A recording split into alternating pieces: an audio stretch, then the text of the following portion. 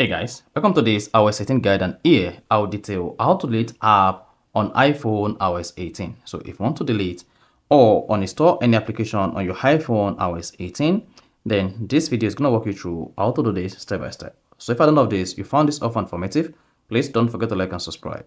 Now, there are two ways to delete or uninstall apps on iPhone iOS 18. The first you can do this on your iPhone home screen. To do this, just go ahead at the third application you want to install on the home screen, press and hold the application like this.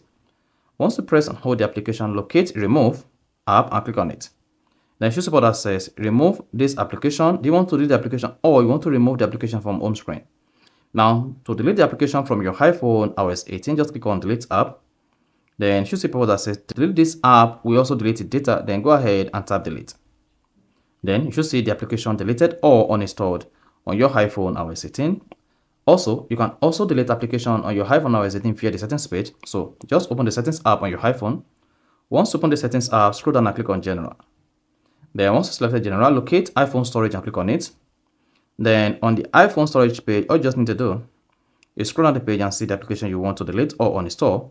If the application is not available on the short view, just go ahead and click on show all. Then scroll down and locate the application you want to delete on your iPhone. Click on it like this. Then you should see offload or delete app. Go ahead and click on delete app. Once you tap delete app, you should see this app deleted all the documents and data. This action cannot be undone. Then you can always delete this app and then restore it again. So go ahead and click on delete app.